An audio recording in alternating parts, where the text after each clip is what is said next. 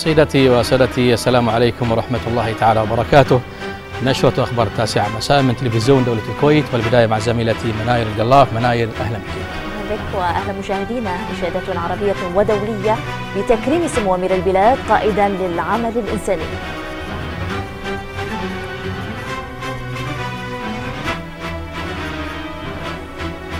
سمو أمير البلاد يؤكد أن جائزة الأمم المتحدة هي للكويت ولشعبها.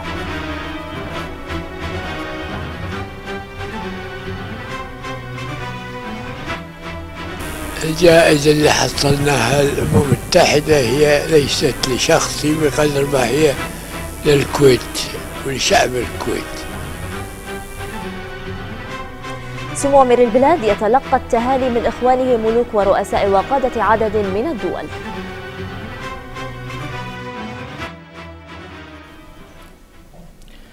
بسم الله الرحمن الرحيم. أقام معالي الأمين العام لهيئة الأمم المتحدة بان كيمون أمس حفل تكريم لحضرة صاحب السمو أمير البلاد الشيخ صباح الأحمد الجابر الصباح حفظه الله ورعاه تقديرا لجهود سموه وإسهاماته الكريمة كقائد للعمل الإنساني ودعمه المتواصل للعمليات الإنسانية لهيئة الأمم المتحدة للحفاظ على الأرواح وتخفيف المعاناة حول العالم وذلك في مقر الأمم المتحدة في مدينة نيويورك. وقد ألقى سموه رعاه الله كلمة بهذه المناسبة.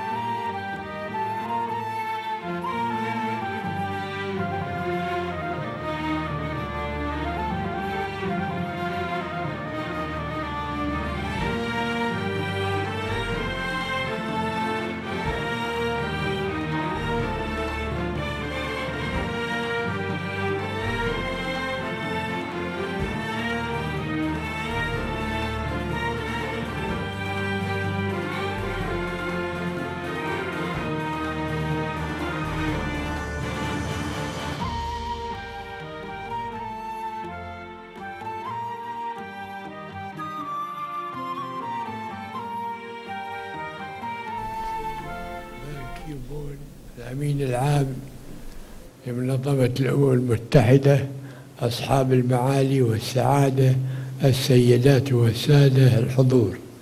السلام عليكم ورحمة الله وبركاته. يسرني في هذا اليوم وفي ظل هذه الاحتفالية الكريمة أن أتقدم لمعاليكم ولكل القائمين على هذه المنظمة العالمية العريقة بأرفع آيات الشكر والثناء والتقدير على هذه المبادرة الطيبة وغير المسبوقة تجاه بلد الكويت شعبا وحكومة وتجاهي شخصيا.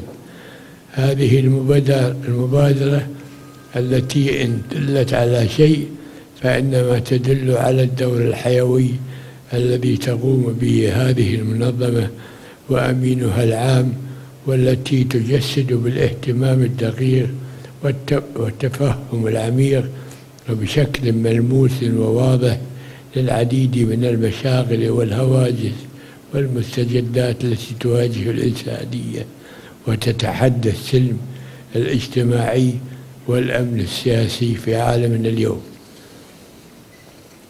إن هذه التحديات بسلوفها المتنوعة ضاعفت الحاجة إلى أساليب معالجة جديدة قادرة على مواجهة ما يهدد الإنسانية وبشكل متزايد من كوارث طبيعية مختلفة ومن فقر وجوع ومرض.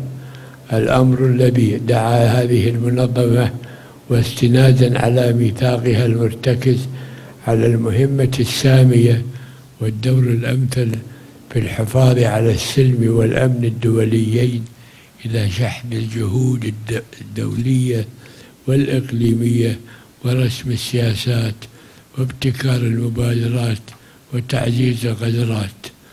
وقد لمس العالم الدور المؤثر للأمم المتحدة في الاستجابة النوعية الفريدة والمؤثرة.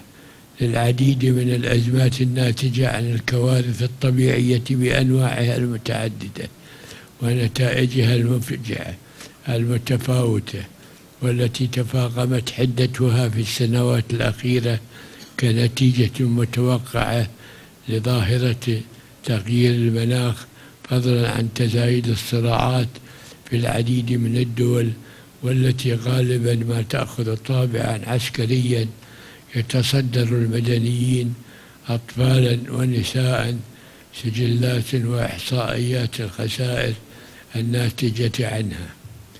معالي الأمين إن دولة الكويت ومنذ استغلالها وانضمامها لهذه المنظمة سنت لها نهجا ثابتا في سياستها الخارجية.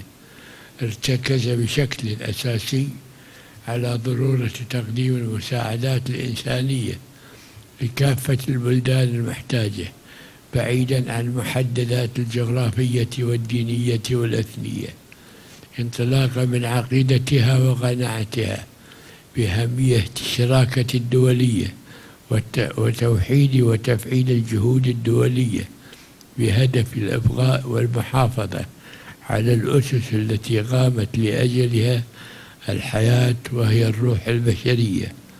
وقد وقد تم ترجمة هذه المسلمات إلى واقع واكبت فيه دولة الكويت المتغيرات العديدة وعالجت خلاله العوائق التي أفرزتها التحديات المتنوعة من خلال تطوير وتحديث أساليب تقديم المساعدات فأصبحت مبادرة صاحب السمو الأمير الراحل الشيخ جابر الأحمد جابر الصباح طيب الله ثراه في إلقاء فوائد القروض الميسرة للعديد من الدول النامية والدول الأقل نموا والتي أعلن, أعلن عنها رحمه الله في الدورة الثالثة والأربعين لأعمال الجمعية العامة للأمم المتحدة لعام 1988 سابقة في العمل الإنساني الدولي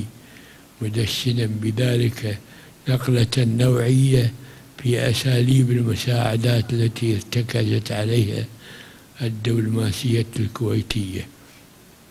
تمثلت بتلمس حقيقي للاحتياجات الإنسانية وإبراز المفهوم الإنساني البحت تجاهها وهو أن هذه القروض والمساعدات ليس لتحصيلها وحساب فوائدها المادية البحتة بل لجني ثمار التعاون الدولي الإنساني المتعدد الأطراف.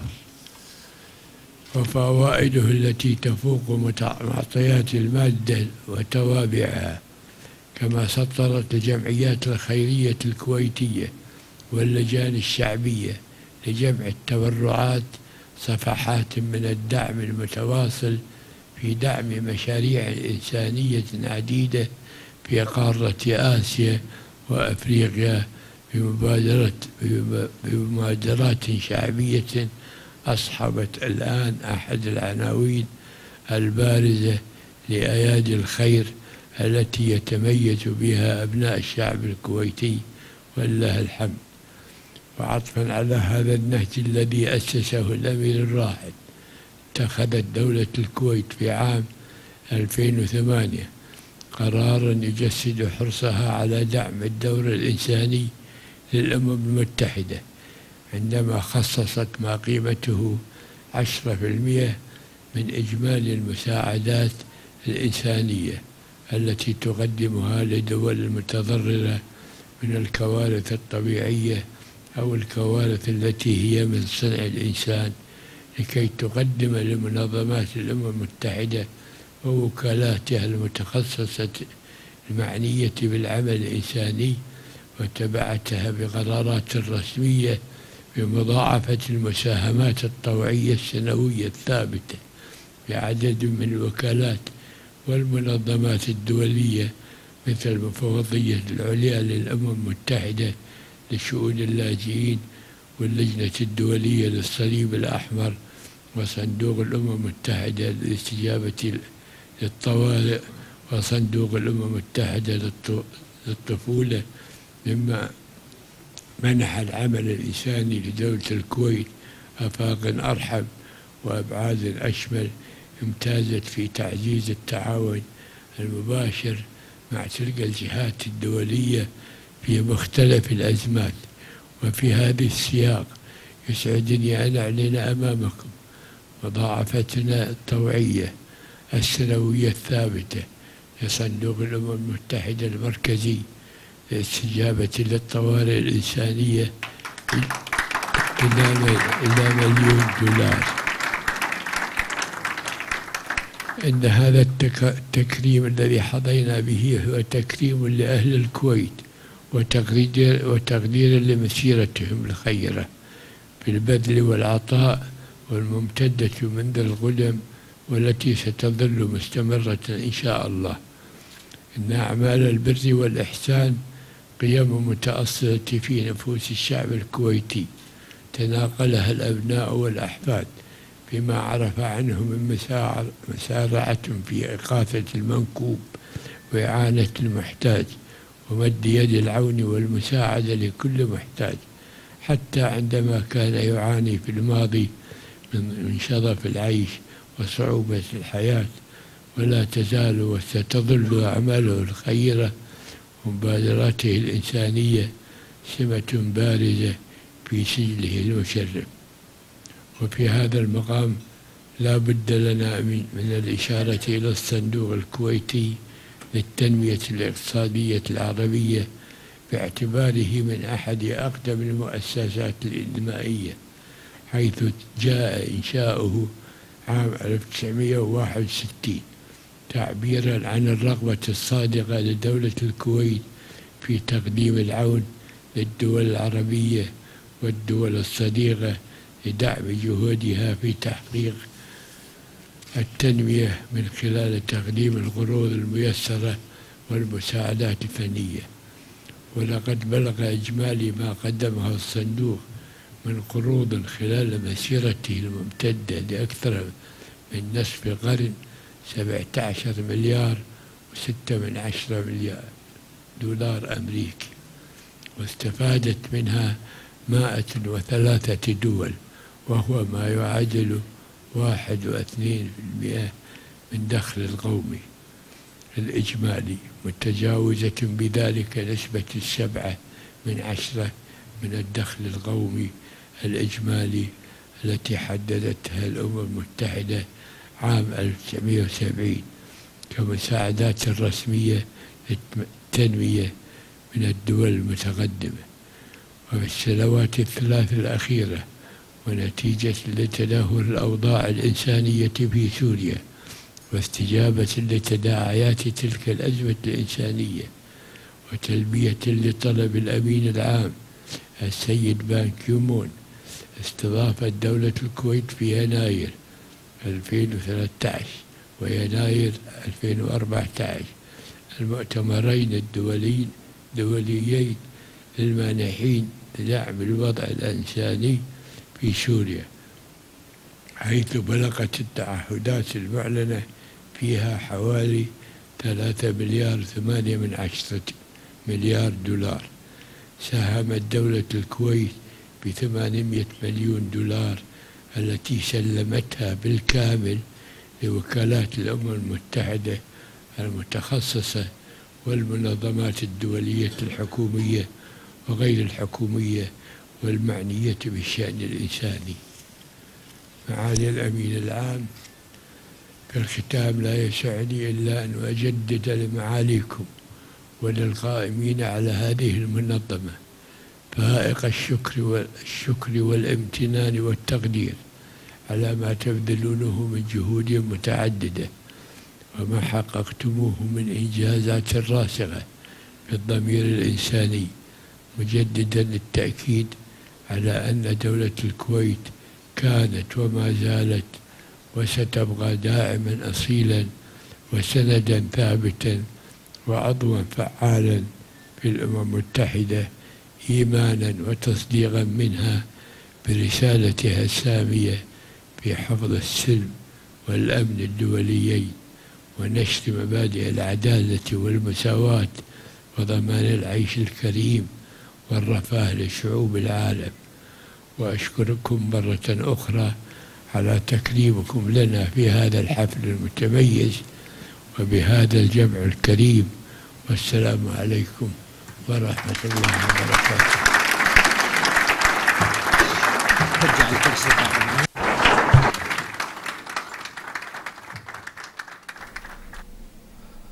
كما ألقى أمين عام هيئة الأمم المتحدة كلمة قال خلالها حضرة صاحب السمو الشيخ صباح الأحمد الجابر الصباح أمير دولة الكويت أصحاب السعادة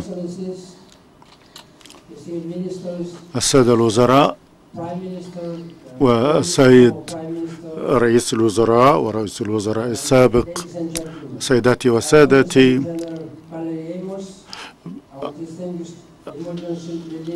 نود أن نشكر السيدة إيموس.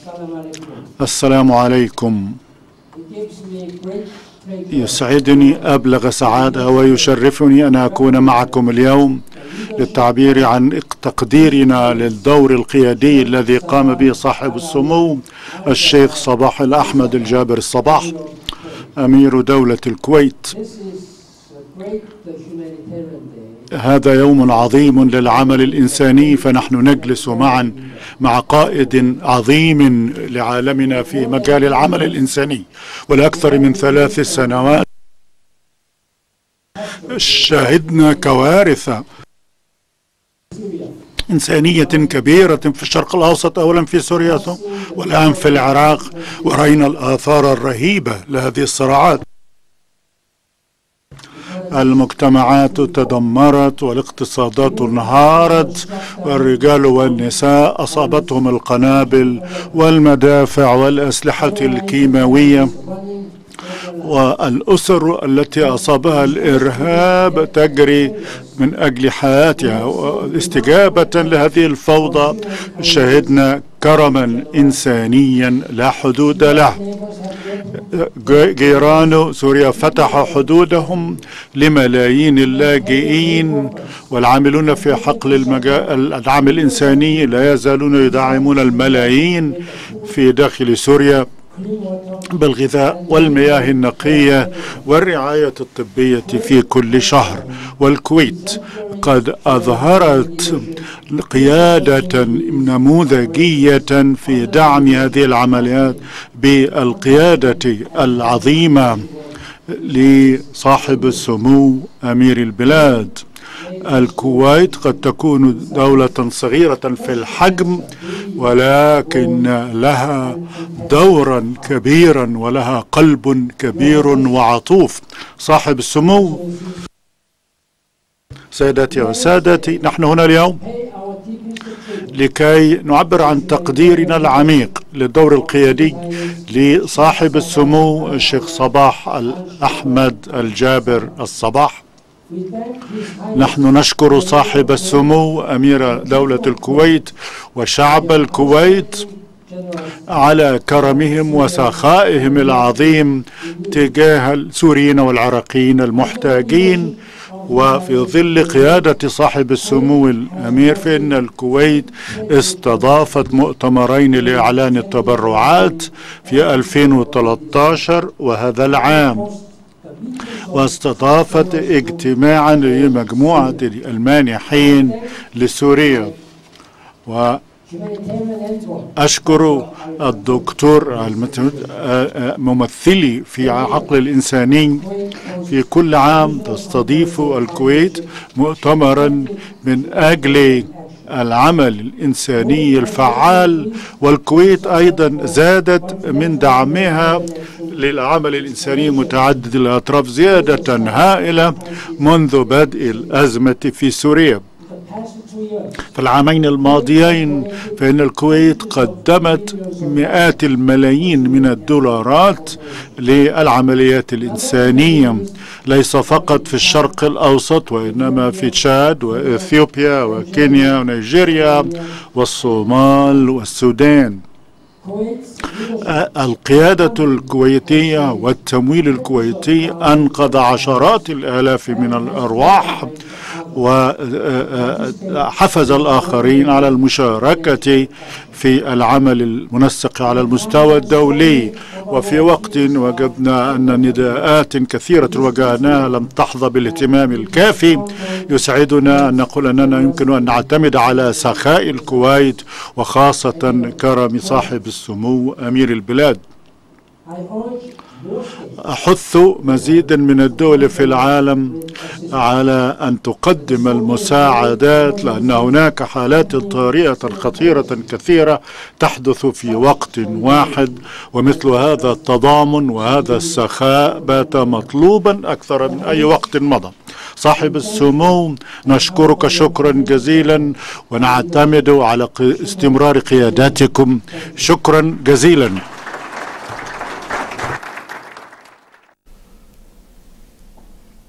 هذا وألقت نائب الأمين العام للأمم المتحدة للشؤون الإنسانية فالري أموس كلمة أعربت فيها عن تقديرها العميق للجهود الكبيرة التي يبذلها حضرة صاحب السمو أمير البلاد الشيخ صباح الأحمد الجابر الصباح حفظه الله ورعاه ودولة الكويت في التعامل مع القضايا الإنسانية حول العالم لا سيما في سوريا ودول الجوار بالإضافة إلى القارة الإفريقية. وأكدت إيموس أن مساهمات دولة الكويت في عمل الأمم المتحدة والنظام الدولي الإنساني تتجاوز الاقتصار على مسألة التمويل فحسب كما أعربت إيموس عن تقديرها العميق لموافقة حضرة صاحب السمو أمير البلاد حفظه الله ورعاه على تعيين مستشاره الخاص للشؤون الإنسانية دكتور عبد الله معتوق المعتوق في منصب المبعوث الإنساني للأمين العام لهيئة الأمم المتحدة.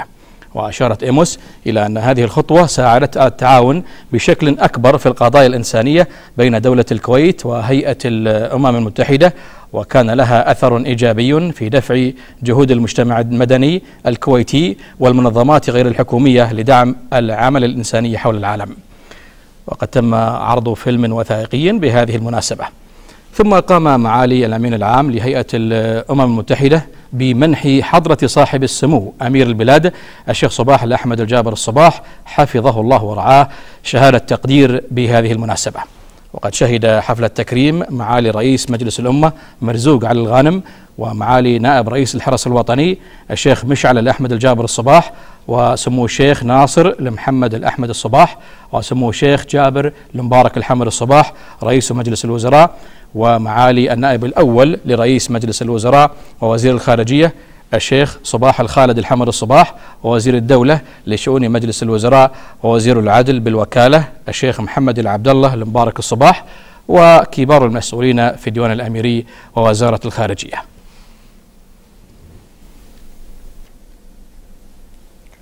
استقبل حضرة صاحب السمو أمير البلاد شيخ صباح أحمد الجابر الصباح حفظه الله ورعاه معالي رئيس مجلس الأمة مرزوق علي الغانم ومعالي نائب رئيس الحرس الوطني الشيخ مشعل أحمد الجابر الصباح وسمو الشيخ ناصر المحمد الأحمد الصباح وسمو الشيخ جابر المبارك الحمد الصباح رئيس مجلس الوزراء ومعالي النائب الأول لرئيس مجلس الوزراء ووزير الخارجية الشيخ صباح الخالد الحمد الصباح ووزير الدولة لشؤون مجلس الوزراء ووزير العدل بالوكالة الشيخ محمد العبد الله المبارك الصباح وذلك بمقر إقامة سموه بمدينة نيويورك.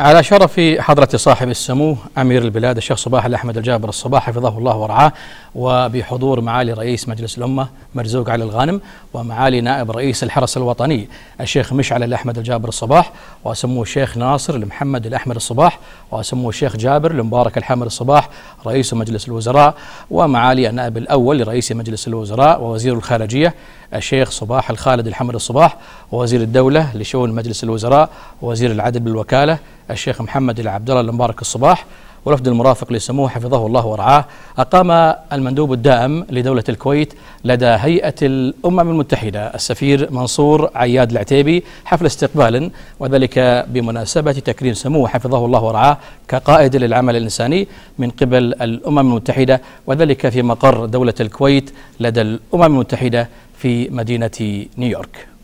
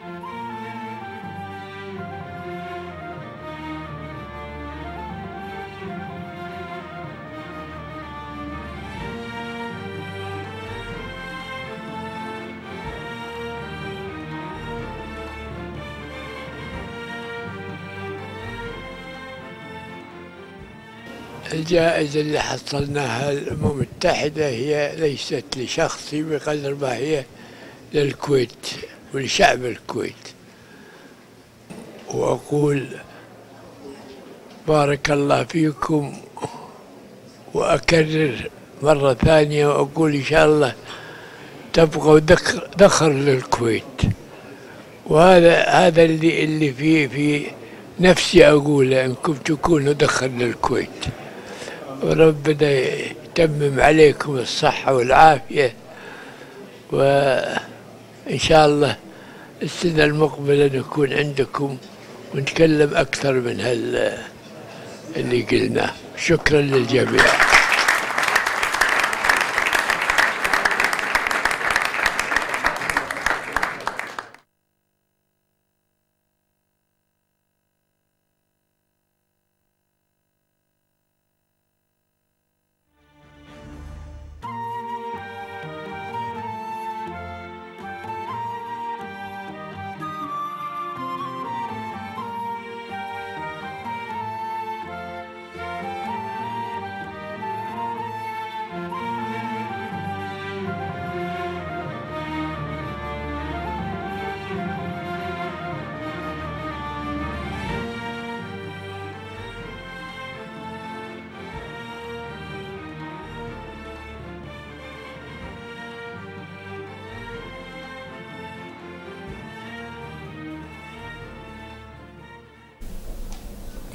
تلقى حضرة صاحب السمو أمير البلاد شيخ صباح أحمد الجابر الصباح حفظه الله ورعاه برقية تهنئة من أخيه صاحب الجلالة الملك حمد بن عيسى الخليفة ملك مملكة البحرين الشقيقة. عبر فيها عن خالص تهانيه بمناسبة منح الأمم المتحدة لسموه رعاه الله لقب قائد العمل الإنساني وتسمية دولة الكويت مركزا للعمل الإنساني تقديرا لجهود سموه حفظه الله الكبيرة التي يبذلها على الصعيد الإنساني العالمي ومشيدا جلالته بجهود وإسهامات سموه في مساندة العمل الإنساني التي عززت من المكانة العالمية لدولة الكويت مؤكدا جلالته بأن هذا التكريم جاء متوافقا مع الدور الإنساني الكبير الذي يقوم به سموه من خلال مبادراته ودعمه للتخفيف عن معاناة شعوب العالم متمنيا لسموه دوام الصحة ومفور العافية ولدولة الكويت كل الرفعة والازدهار في ظل القيادة الحكيمة لسموه حفظه الله ورعاه. وقد بعث حضرة صاحب السمو أمير البلاد الشيخ صباح الأحمد الجابر الصباح حفظه الله ورعاه ببرقية شكر جوابية لأخيه صاحب الجلالة الملك حمد بن عيسى الخليفة ملك مملكة البحرين الشقيقة. ضمنها سموه خالص شكره وتقديره على ما عبر عنه جلالته من تهاني رقيقة وتمنيات صادقة بمناسبة قيام الأمم المتحدة بإطلاق لقب قائد العمل الإنساني على سموه حفظه الله وتسمية دولة الكويت مركزا للعمل الإنساني. مثمنا ما أبداه جلالته من إشادة بالدور الإنساني الذي تقوم به في مجال الإغاثة والعمل الإنساني ومقدرا هذه المبادرة الأخوية المجسدة لأواصر المودة والتي تعكس عمق العلاقات الطيبة التي تجمع البلدين والشعبين الشقيقين. سائلا سموه المولى تعالى أن يديم على جلالته موفور الصحة ودوام العافية ويحقق للبلد الشقيق كل ما يتطلع إليه من رقي وازدهار في ظل القيادة الحكيمة لجلالته. تلقى حضرة صاحب السمو أمير البلاد الشيخ صباح الأحمد الجابر الصباح حفظه الله ورعاه برقية تهنئة من أخيه جلالة السلطان قابوس بن سعيد المعظم سلطان عمان الشقيقة عبر فيها عن خالص تهانيه بمناسبة منح الأمم المتحدة لسموه حفظه الله ورعاه لقب قائد العمل الإنساني وتسمية دولة الكويت مركزا للعمل الإنساني تقديرا لجهود سموه حفظه الله الكبيرة التي يبذلها على الصعيد الإنساني العالمي مشيدا بجهود وإسهامات سموه حفظه الله ورعاه. في مساندة العمل الإنساني التي عززت من المكانة العالمية لدولة الكويت متمنيا لسموه دوام الصحة وموفور العافية ولدولة الكويت كل الرفعة والازدهار في ظل القيادة الحكيمة للسمو حفظه الله ورعاه.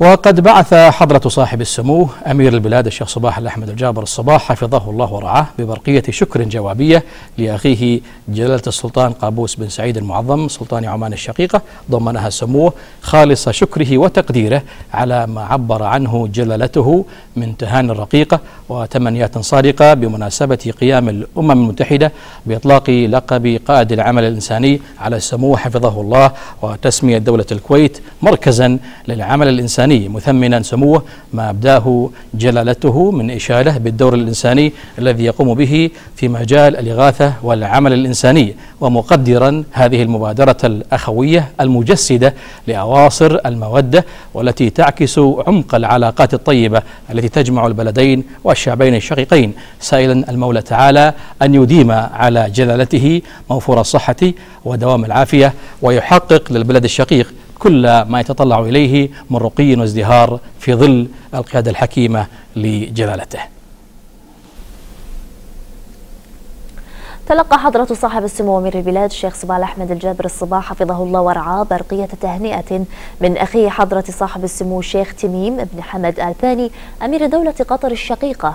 عبر فيها عن خالص التهاني بمناسبة منح الأمم المتحدة لسموه رعاه الله لقب قائد العمل الإنساني وتسمية دولة الكويت مركزا للعمل الإنساني وذلك تقديرا لجهود سموه حفظه الله الكبيرة التي يبذلها على الصعيد الإنساني العالمي مشيدا بجهود وإسهامات سموه في مساندة العمل الإنساني التي عززت من المكانة العالمية لدولة الكويت متمنيا لسموه دوام الصحة وموفور العافية.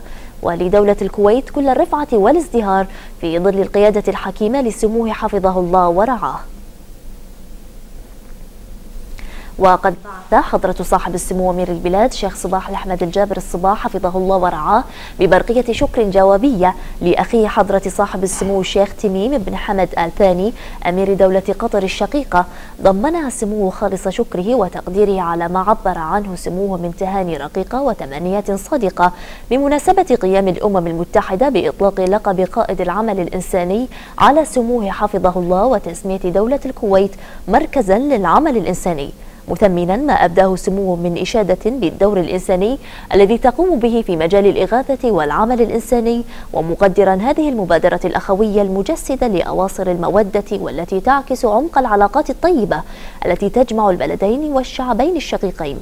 سائلا المولى تعالى أن يديم على سموه موفور الصحة ودوام العافية ويحقق للبلد الشقيق كل ما يتطلع إليه من رقي وازدهار في ظل القيادة الحكيمة لسموه. تلقى حضرة صاحب السمو أمير البلاد الشيخ صباح الأحمد الجابر الصباح حفظه الله ورعاه برقية تهنئة من أخيه صاحب السمو الشيخ خليفة بن زايد آل نهيان.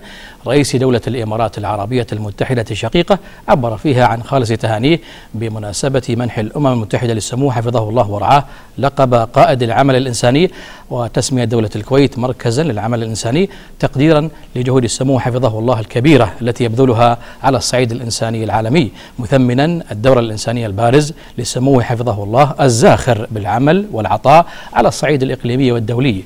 معززا بذلك النهج الذي سارت عليه دولة الكويت منذ قيامها متمنيا لسموه دوام الصحة وموفور العافية ولدولة الكويت كل الرفعة والازدهار في ظل القيادة الحكيمة لسموه حفظه الله ورعاه. وقد بعث حضرة صاحب السمو أمير البلاد الشيخ صباح الأحمد الجابر الصباح حفظه الله ورعاه ببرقية شكر جوابية لأخيه صاحب السمو الشيخ خليفة بن زايد آل نهيان رئيس دولة الإمارات العربية المتحدة الشقيقة. ضمنها السمو حفظه الله ورعاه خالص شكره وتقديره على ما عبر عنه سموه من تهان رقيقة وتمنيات صادقة بمناسبة قيام الأمم المتحدة بإطلاق لقب قائد العمل الإنساني على سمو حفظه الله ورعاه وتسمية دولة دولة الكويت مركزا للعمل الإنساني مثمنا ما أبداه سموه من إشادة بالدور الإنساني الذي تقوم به في مجال الإغاثة والعمل الإنساني ومقدرا هذه المبادرة الأخوية المجسدة لأواصر المودة والتي تعكس عمق العلاقات الطيبة التي تجمع البلدين والشعبين الشقيقين. سائلا سموه المولى تعالى أن يديم على سموه موفور الصحة ودوام العافية ويحقق للبلد الشقيق كل ما يتطلع إليه من رقي وازدهار في ظل القيادة الحكيمة لسموه حفظه الله.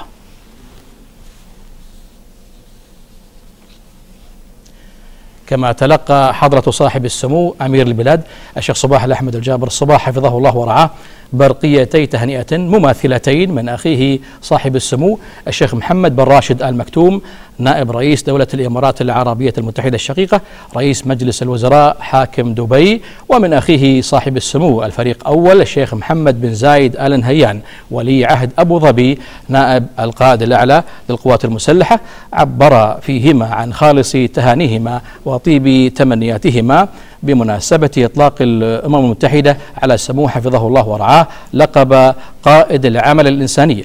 وتسمية دولة الكويت مركزا للعمل الإنساني متمنيين لسموه رعاه الله موفور الصحة ودوام العافية. وقد بعث حضرة صاحب السمو أمير البلاد الشيخ صباح الأحمد الجابر الصباح حفظه الله ورعاه لسموهما ببرقيتي شكر جوابيتين ضمنهما سمو حفظه الله ورعاه خالص شكره وتقديره على ما عبرا عنه من طيب المشاعر وصادق الدعوات بهذه المناسبة متمنيا سموه لهما موفور الصحة والعافية ولدولة الإمارات العربية المتحدة الشقيقة كل الرقي والازدهار. تلقى حضرة صاحب السمو أمير البلاد شيخ صباح الأحمد الجابر الصباح حفظه الله ورعاه برقية تهنئة من أخيه فخامة الرئيس عبد الفتاح السيسي رئيس جمهورية مصر العربية الشقيقة. عبر فيها عن خالص تهاني بمناسبة منح الأمم المتحدة لسموه رعاه الله لقب قائد العمل الإنساني وتسمية دولة الكويت مركزا للعمل الإنساني تقديرا لجهود سموه حفظه الله الكبيرة التي يبذلها على الصعيد الإنساني العالمي والذي يعد تكريما أيضا لجميع الدول والشعوب العربية مشيدا بجهود وإسهامات سموه في مساندة العمل الإنساني التي عززت من المكانة العالمية لدولة الكويت متمنيا لسموه دوام الصحة وموفور العافية ولدولة الكويت كل الرفعة والازدهار في ظل القيادة الحكيمة لسموه حفظه الله ورعاه. وقد بعث حضرة صاحب السمو أمير البلاد الشيخ صباح الأحمد الجابر الصباح حفظه الله ورعاه ببرقية شكر جوابية لأخيه فخامة الرئيس عبد الفتاح السيسي رئيس جمهورية مصر العربية الشقيقة. ضمنها سموه خالص شكره وتقديره على ما عبر عنه فخامته من تهاني رقيقة وتمنيات صادقة بمناسبة قيام الأمم المتحدة بإطلاق لقب قائد العمل الإنساني على سموه حفظه الله وتسمية دولة الكويت مركزا للعمل الإنساني. مثمنا ما أبداه فخامته من إشادة بالدور الإنساني الذي تقوم به في مجال الإغاثة والعمل الإنساني ومقدرا هذه المبادرة الأخوية المجسدة لأواصر المودة والتي تعكس عمق العلاقات الطيبة التي تجمع البلدين الشعبين والشعبين الشقيقين. سائلا المولى تعالى أن يديم على فخامته موفور الصحة ودوام العافية ويحقق للبلد الشقيق كل ما يتطلع إليه من رقي وازدهار في ظل القيادة الحكيمة لفخامته. تلقى حضرة صاحب السمو أمير البلاد الشيخ صباح الأحمد الجابر الصباح حفظه الله ورعاه برقية تهنئة من أخيه صاحب السمو الشيخ الدكتور سلطان بن محمد القاسمي عضو المجلس الأعلى حاكم الشارقة بمناسبة منح هيئة الأمم المتحدة لسموه رعاه الله لقب قائد العمل الإنساني وتسمية دولة الكويت مركزا للعمل الإنساني.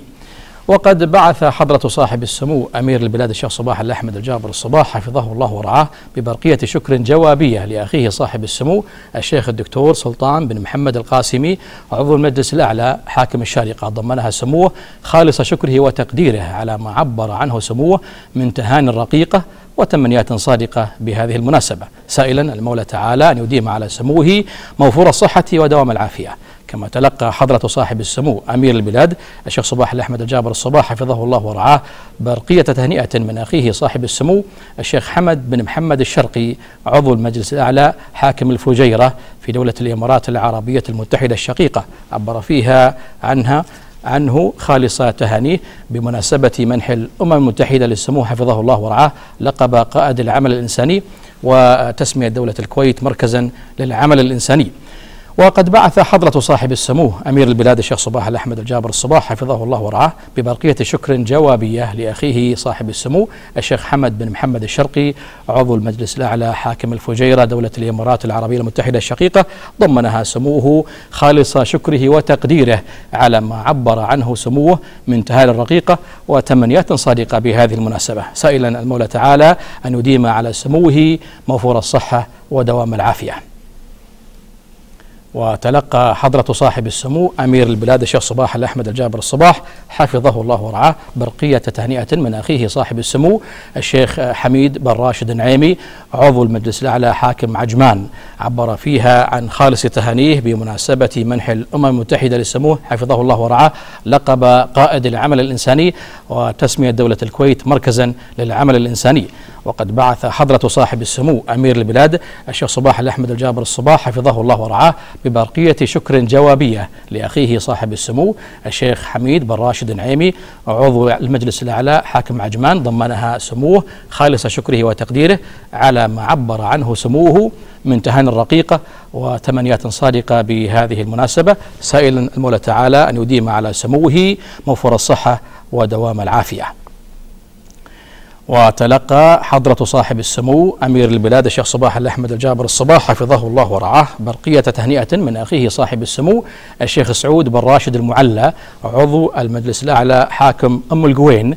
عبر فيها عن خالص تهانيه بمناسبة منح الأمم المتحدة لسموه لقب قائد العمل الإنساني وتسمية دولة الكويت مركزا للعمل الإنساني. وقد بعث حضرة صاحب السمو أمير البلاد الشيخ صباح الأحمد الجابر الصباح حفظه الله ورعاه ببرقية شكر جوابية لأخيه صاحب السمو الشيخ سعود بن راشد المعلى عضو المجلس الأعلى حاكم أم القوين. ضمنها سموه خالص شكره وتقديره على ما عبر عنه سموه من تهان الرقيقة وتمنيات صادقة بهذه المناسبة. سائلا المولى تعالى أن يديم على سموه موفور الصحة ودوام العافية. كما تلقى حضرة صاحب السمو أمير البلاد الشيخ صباح الأحمد الجابر الصباح حفظه الله ورعاه برقية تهنئة من أخيه صاحب السمو الشيخ سعود بن صقر القاسمي عضو المجلس الأعلى حاكم إمارة رأس الخيمة. عبر فيها عن خالص تهانيه بمناسبة منح الأمم المتحدة للسمو حفظه الله ورعاه لقب قائد العمل الإنساني وتسمية دولة الكويت مركزا للعمل الإنساني.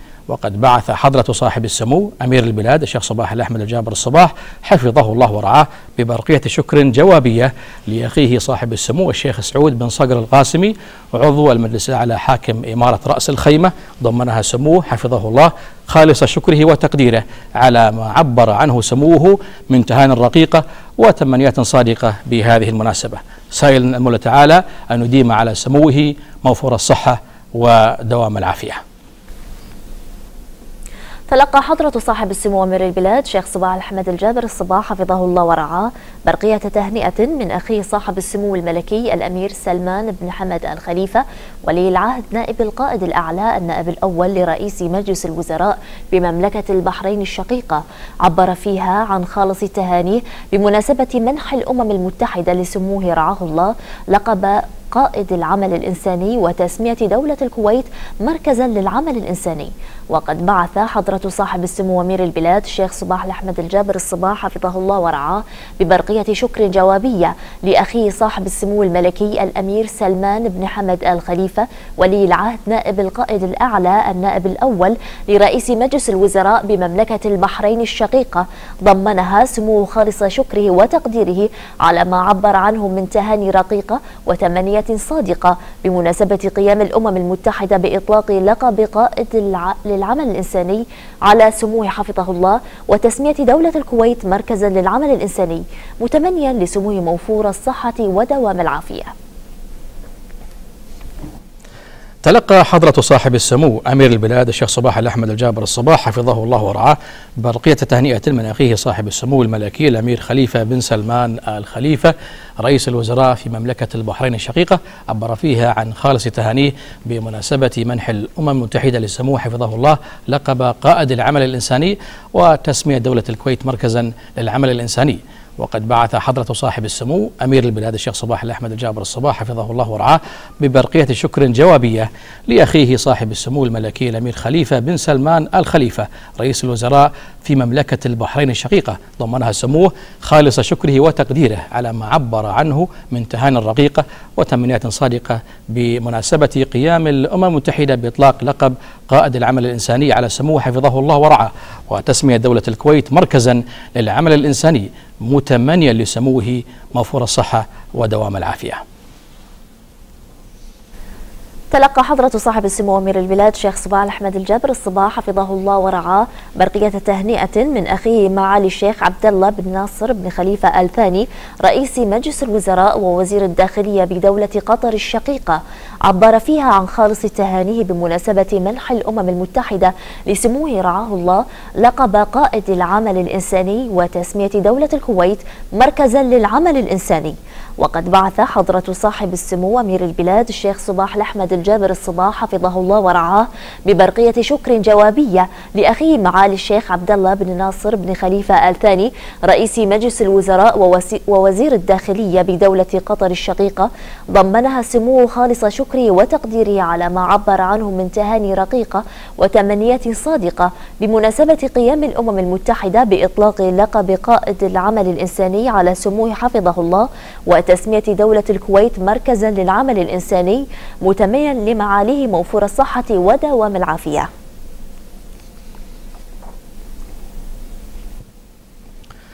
تلقى حضرة صاحب السمو أمير البلاد الشيخ صباح الأحمد الجابر الصباح حفظه الله ورعاه تهنئة من أخيه سمو الشيخ ناصر لمحمد الأحمد الجابر الصباح التالي نصها. سيدي حضرة صاحب السمو الشيخ صباح الأحمد الجابر الصباح أطال الله في عمره المديد أمير البلاد المفدى تحية طيبة وبعد.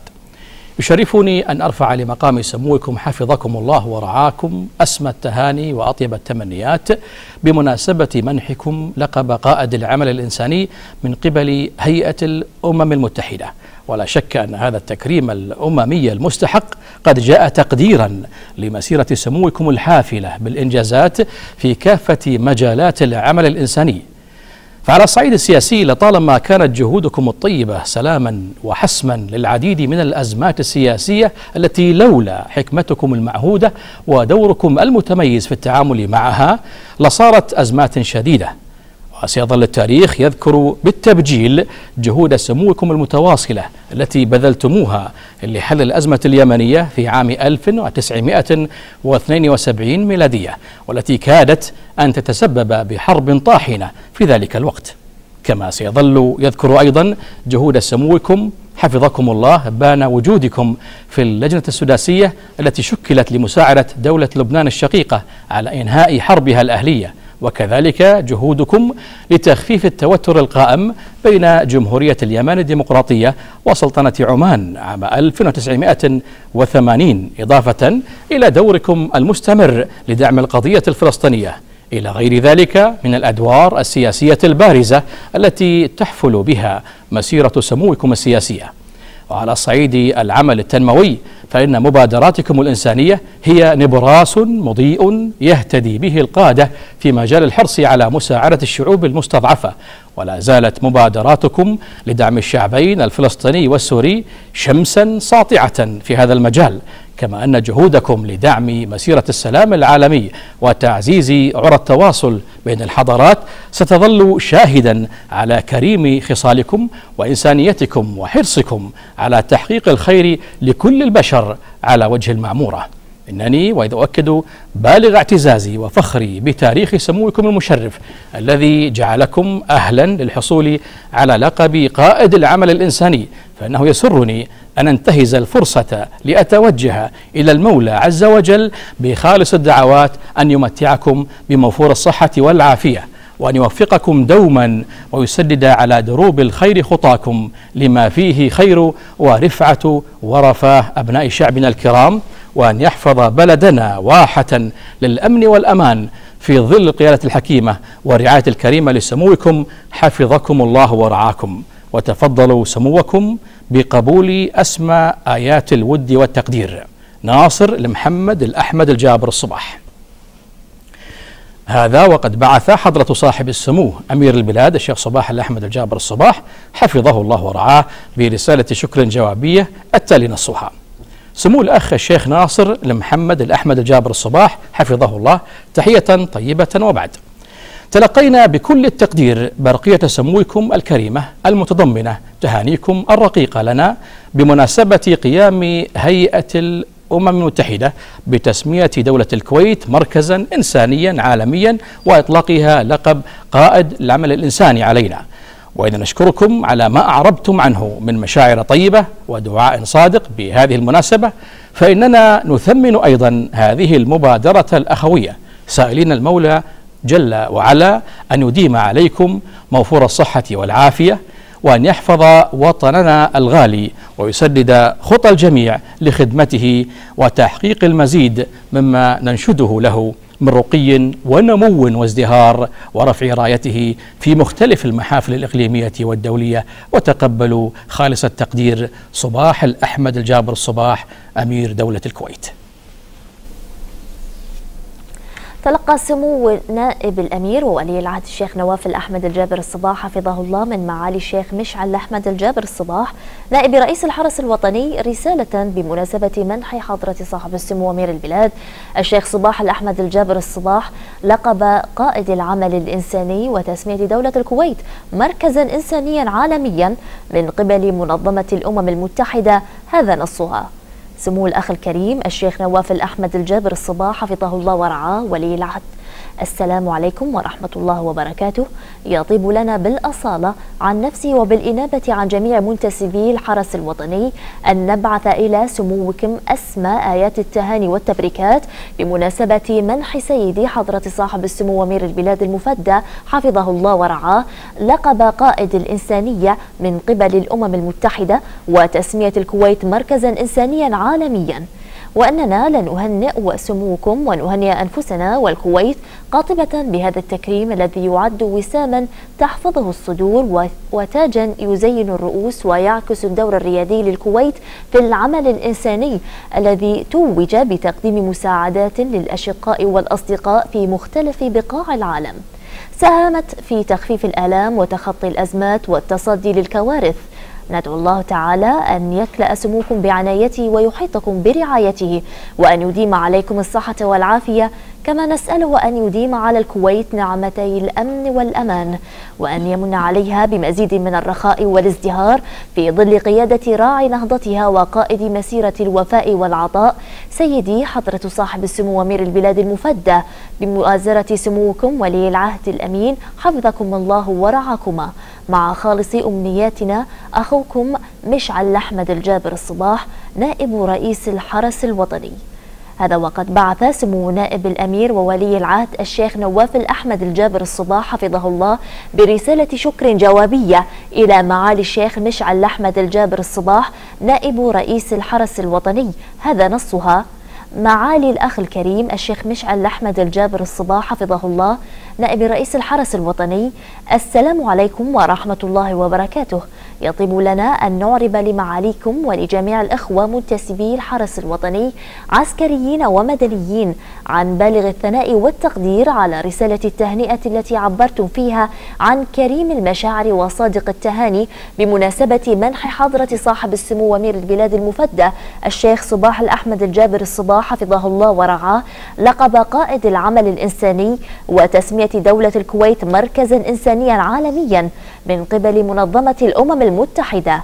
وإذ نشكركم على هذه المبادرة الطيبة فإننا نسأل المولى سبحانه وتعالى أن يسبغ عليكم بنعمة الصحة والعافية وأن يمدكم بعونه وقوته وأن يحفظ كويتنا الغالية من كل مكروه وسوء لتظل رأيتها عالية خفاقة في ظل القيادة الحكيمة لحضرة صاحب السمو أمير البلاد المفدى حفظه الله ورعاه ذخرا للبلاد. والسلام عليكم ورحمة الله وبركاته. نواف الأحمد الجابر الصباح نائب الأمير وولي العهد. وصف النائب الأول لرئيس مجلس الوزراء ووزير الخارجية الشيخ صباح الخالد الحمد الصباح احتفالية تكريم حضرة صاحب السمو أمير البلاد الشيخ صباح الأحمد الجابر الصباح حفظه الله ورعاه في مقر هيئة الأمم المتحدة بمناسبة تسمية سموه قائدا للعمل الإنساني ودولة الكويت مركزا للعمل الإنساني بأنها تاريخية. وقال الشيخ صباح الخالد عقب لقائه مع الأمين العام للأمم المتحدة بان كيمون في مقر المنظمة الدولية أنه قدم خلال الاجتماع شكر دولة الكويت أميرا وحكومة وشعبا على احتفالية تكريم سمو أمير البلاد حفظه الله ورعاه وذلك تقديرا لجهود سموه وإسهاماته الكريمة.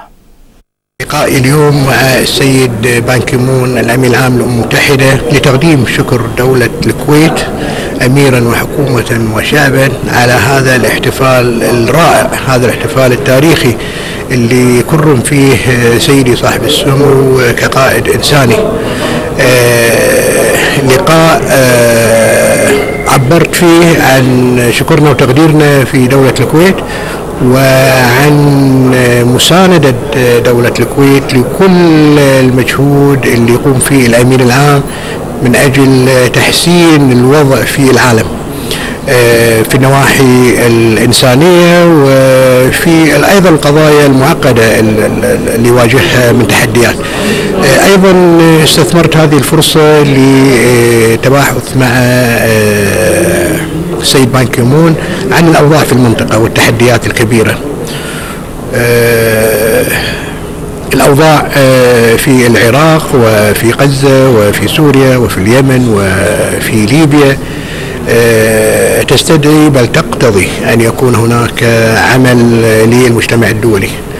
تحديات كبيرة دول المنطقة دول مجلس التعاون دول العربية ضمن عملها في الجامعة العربية قامت بما هو مطلوب وسوف تستكمل هذا الدور. المجتمع الدولي في الامم يعني الامم المتحده ودور السيد بان كيمون في هذه القضايا مهم. تبادل وجهات النظر حول هذه القضايا أيضا مهم. العلاقة بين الكويت والامم المتحده علاقة مميزة علاقة ممتازة. الأمين العام زار الكويت عدة مرات آه تناقشنا معه في قضايا كثيرة سياسية وإنسانية واجتماعية وبيئية وإحنا مقبلين على قمة التغير المناخي فكان هناك جدول حافل الحقيقة في آه لقائنا اليوم لكن عنوان هذا اللقاء هو شكر وتقدير دولة الكويت آه على دور الأمم المتحدة في تكريم صاحب السمو كقائد إنساني. لقائي اليوم مع السيد بان كيمون الأمين العام رحبت جامعة الدول العربية بتكريم حضرة صاحب السمو أمير البلاد الشيخ صباح الأحمد الجابر الصباح حفظه الله ورعاه بمنح سموه رعاه الله لقب قائد العمل الإنساني وتسمية دولة الكويت مركزا إنسانيا عالميا من قبل منظمة الأمم المتحدة. وهنأت جامعة الدول العربية دولة الكويت أميرا وشعبا وحكومة بهذه المناسبة. ووصف الأمين العام المساعد السفير محمد صبحي وصف حضرة صاحب السمو أمير البلاد حفظه الله ورعاه بأنه قائد عربي فذ ومتميز. من جهته رحب المفوض السامي للأمم المتحدة لشؤون اللاجئين أنطونيو غوتيريس بتكريم حضرة صاحب السمو أمير البلاد حفظه الله ورعاه وأعرب عن تقديره للدور الريادي الفريد الذي يؤديه سموه ورعاه الله والشعب الكويتي الكريم في مجال العمل الإنساني إقليميا ودوليا. وقال غوتيريس إن السجل الإنساني لسموه رعاه الله حافل بالإنجازات التي كانت سببا في تحسين الحياة اليومية للملايين حول العالم.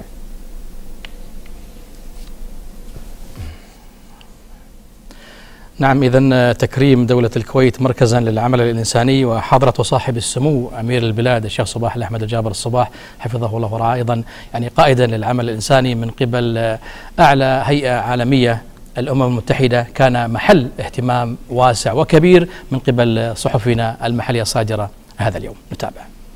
كويت الخير محط أنظار العالم في الاحتفالية التي أقامتها منظمة الأمم المتحدة بمقرها بنيويورك أشادت من خلالها بالمسيرة الخيرة لحضرة صاحب السمو أمير البلاد الشيخ صباح الأحمد الجابر الصباح حفظه الله ورعاه بمنحه لقب قائد للعمل الإنساني. فالكويت سنت لها نهجا ثابتا في سياستها الخارجية. ارتكز على تقديم المساعدات الإنسانية لجميع البلدان المحتاجة بعيدا عن المحددات الجغرافية والدينية والإثنية. ما جعلها تتبوأ أعلى المراتب في العمل الإنساني العالمي. الصحف الكويتية تناولت في صفحتها الأولى هذه الاحتفالية باعتبارها مبادرة طيبة وغير مسبوقة تجاه الكويت شعبا وحكومة. جريدة الأنباء شهادة أممية بجهود وكرم قائد الإنسانية.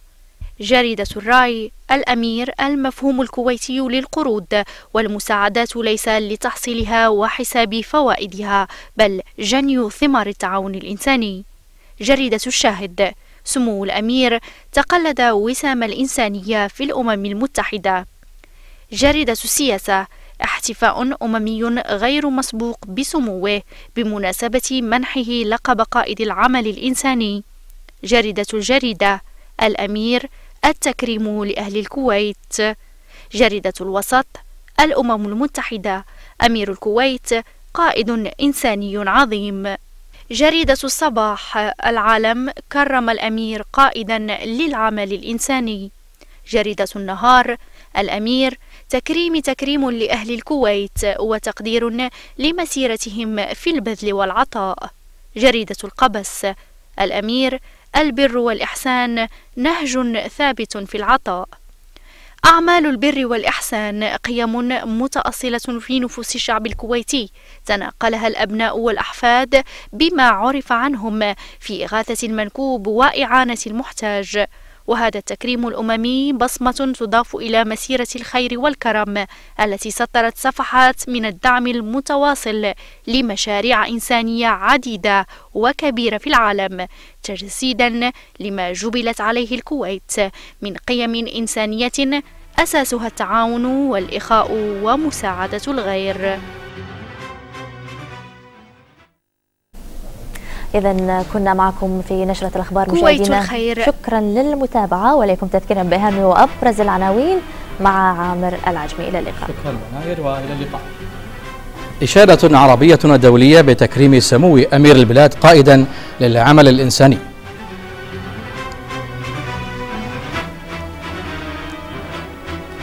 سمو أمير البلاد يؤكد أن جائزة هيئة الأمم المتحدة هي للكويت ولشعبها.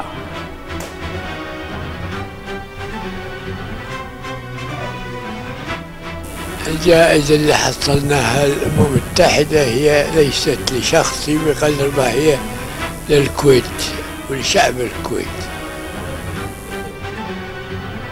سمو أمير البلاد يتلقى التهاني من إخوانه ملوك ورؤساء وقادة عدد من الدول. إلى اللقاء.